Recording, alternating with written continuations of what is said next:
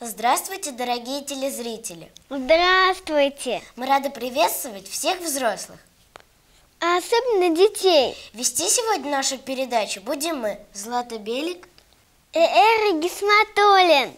Сейчас мы еще дети, но нам хочется понять, как нужно выбирать профессию, когда вырастем. Чтобы работа нравилась и приносила всем пользу. Мы составили целый список профессий, о которых нам хотелось бы узнать поподробней. Вот пробуем себя в роли ведущих телепередачи. Пока не трудно, а даже приятно. Еще мы приготовили репортаж о том, как работает парикмахер. Мальчикам, конечно, хотелось начать с футбола, но девочки попросили узнать, как работается в салонах красоты.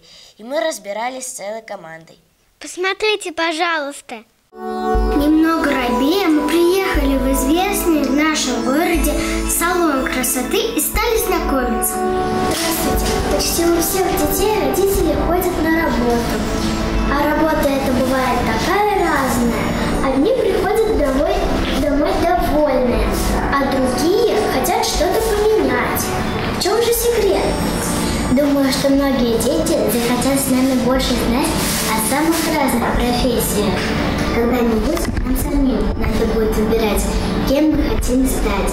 Но и сейчас уже интересно заглянуть в эту взрослую сторону жизни. В одном из самых красивых салонов нашего города нас приветливо встретили и согласились помочь узнать больше о профессии парикмахера. Здравствуйте!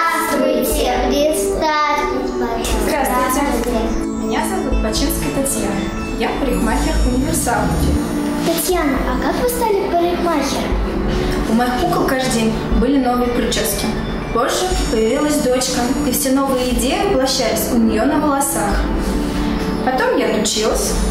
Теперь мне эта профессия нравится. Татьяна, а что вам нравится в этой работе? Мне нравится, когда клиент от меня уходит довольный, когда ему нравится отражение в зеркале. Я люблю создавать образы. Свадебные, для работы, для выпускного. Хотите мне помочь немного поработать парикмахером? Да! Расскажите подробнее про свою работу. Сейчас осень. И от этого немного грустно. Но осень – это красивая пора. Я вам предлагаю сделать прически на тему осеннее настроение. Татьяна позволила нам помогать ей. Целых два часа мы были как на работе, фантазировали с осенними прическами и задавали вопросы. Татьяна, а у вас творческая профессия? Конечно. Например, игра цвета. Нельзя просто постричь, чтобы это выглядело красиво. Нужно, мы создаем образ. Нужно учитывать рост, овал лица, чем человек работает, чем живет. Это очень интересно. Настоящий мастер своего дела щедро делился с нами информацией о профессии.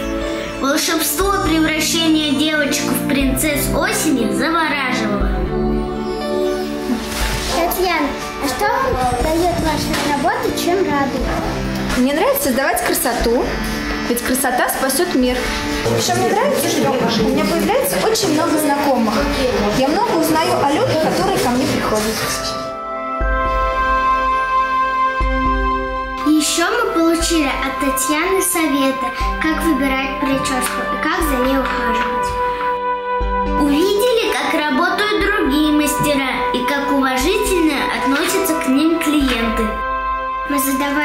вопросы и клиентам тоже, и они, улыбаясь, нам отвечали.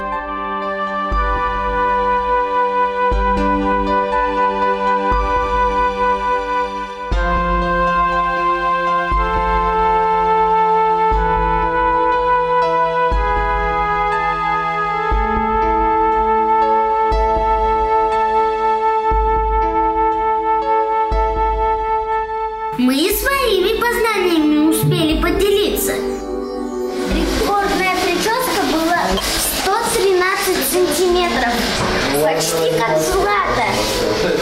Эта прическа была занесена в книгу рекордов Гиннесса в 2013 году. В Египте была придумана подставка-подушка деревянная, которая помогала сохранять понравившую прическу во время сна. Представляете, как это неудобно? Красота требует жертв. Осеннее настроение витало вот. Унылая пора, очи очарование, Приятна мне твоя прощальная коса. Люблю я пышную природу увядания, В багрец и золото одетые леса. Скажите, пожалуйста, как вы думаете, парикмахер – это профессия уважаемая? очень даже необходимые для жизни каждого человека. Каждый, начиная с возраста маленького, должен обязательно приходить в парикмахерскую, стричься, делать прическу.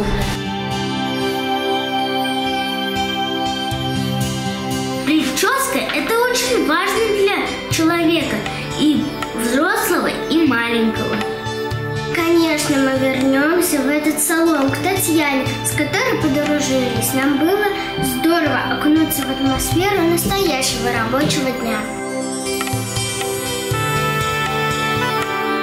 Парикмахером работать можно. Красота! Настоящее искусство! Татьяна, вы волшебница. Что вы пожелаете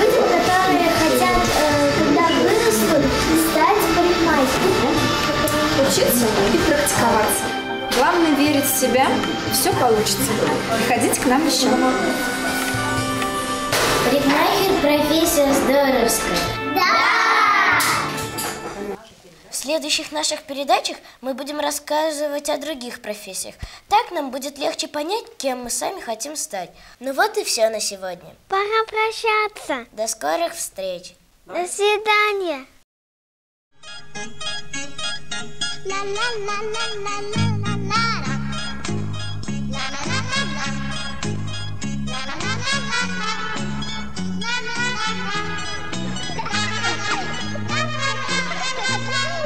ha!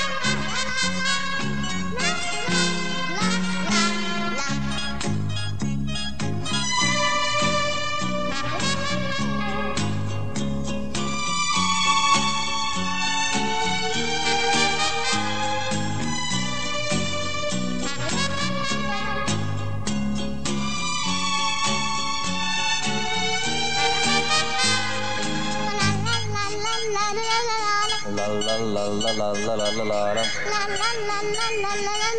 La la la la la la la la la. La la la la la la la la.